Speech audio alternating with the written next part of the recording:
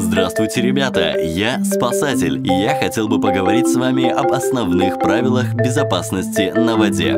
Начнем, пожалуй, с самого главного. Нельзя купаться без присутствия взрослого человека. Запрещено заплывать за буйки, а если их нет, то слишком далеко от берега. Нельзя также близко подплывать к судам. Нельзя прыгать в воду в местах, где мелкое или незнакомое дно. Нельзя прыгать в воду с лодок, причалов, мостов и других, не предназначенных для этого мест. Не купайтесь в водоемах, берег которых обложен большими камнями или бетонными плитами. Они покрываются мхом, становятся скользкими и по ним опасно и трудно выбираться. Надувные матрасы и круги предназначены для плавания только вблизи берега. Нельзя играть в воде в игры, связанные с захватом соперника и удержанием его под водой. Твой товарищ может захлебнуться и потерять сознание. Запомните, эти правила касаются всех.